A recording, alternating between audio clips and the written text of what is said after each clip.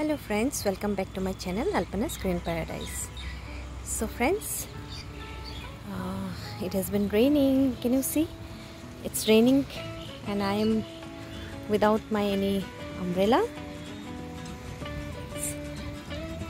These are my water plants.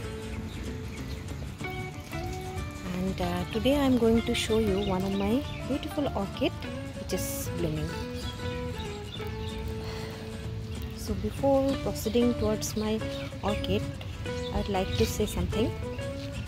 I just want to request you all please uh, do subscribe to my channel so that I can get motivated to upload more and more videos.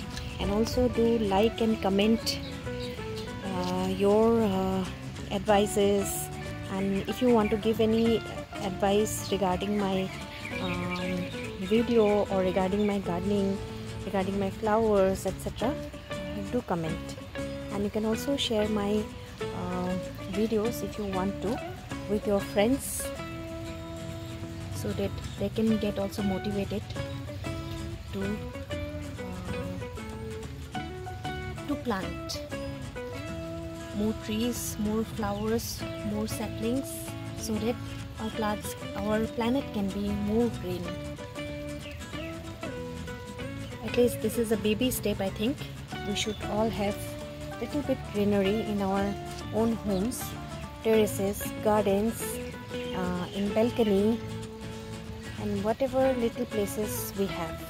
So friends so this is my beautiful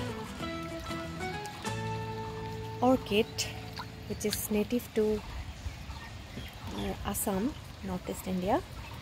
So this is a beautiful orchid in local language it is called Phato Phul. Phato.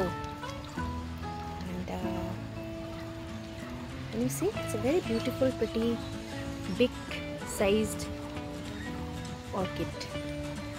And it is in bunch. There are three blooms and two more buds are there. Three flowers have bloomed and two more buds are there to bloom.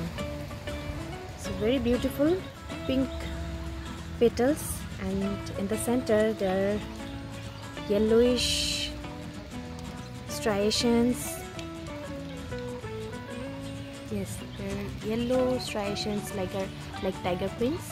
Then we have the leaf is again pink and sepals. Petals are also white and pinkish in color. So very beautiful. Phato Phul or Phato orchid. So later on i'll uh, mention the uh, scientific name of this orchid. And uh, as you can see this is a bra small branch i have picked up from a friend of mine who has given me and uh, as a gift. And uh, as you can see I have tied her just in a small pine tree. So this is my pine tree where I have just tied with a plastic rope. There is nothing like moss or something. So as you know the orchids are um, they take moisture from the surrounding environment isn't it? These are the roots and from the this roots only they take moisture from the surrounding environments surroundings. So they don't require any media like uh, soil or coco peat or um, anything. They do not require any media actually. So you can just simply tie them in a tree branch of tree or it is better they grow in a they grow better in a uh, big tree like mango tree then uh, betel nut tree so in the ground we have lots of orchids which i have tried tied them in betel nut tree as well as mango trees. And also they grow good in areca palm. So this is the first time i'm tying her in a pine tree. Uh, so not pine tree actually. This is xmas tree or christmas tree you can say. So here from a distant view i can show you. So this is the entire branch so aerial roots are coming as you can see to take the moisture from the surrounding. So definitely they as you can see they do not require any media and all. Some people uh, use coconut husk. If you pot them in a um, pot in a fenestrated pot then you can use some medias like coconut husk or coconut bark uh, chunks of bricks so that they can be in uh, they can be placed in good position. They do not move. Okay.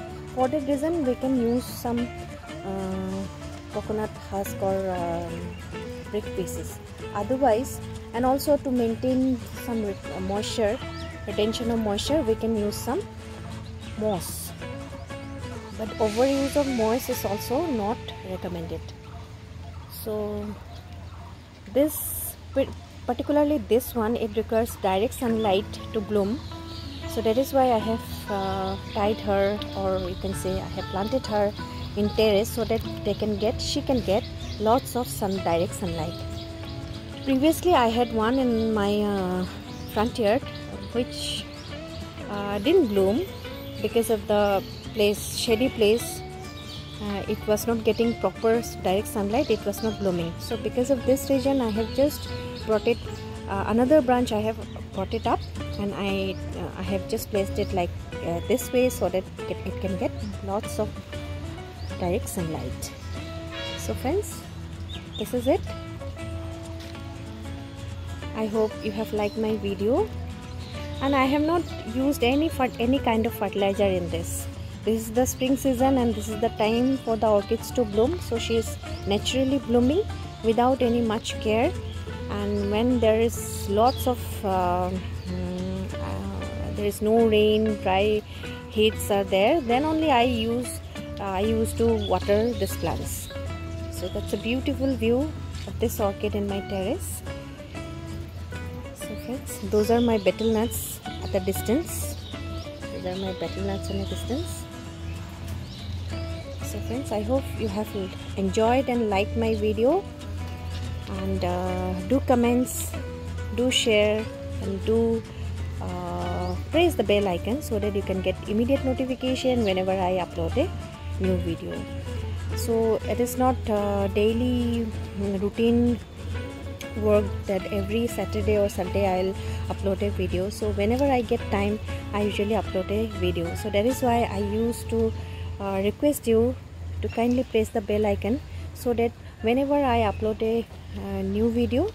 You do not miss it and you can get the notification and definitely you will enjoy my video. So friends until next time take care bye bye happy gardening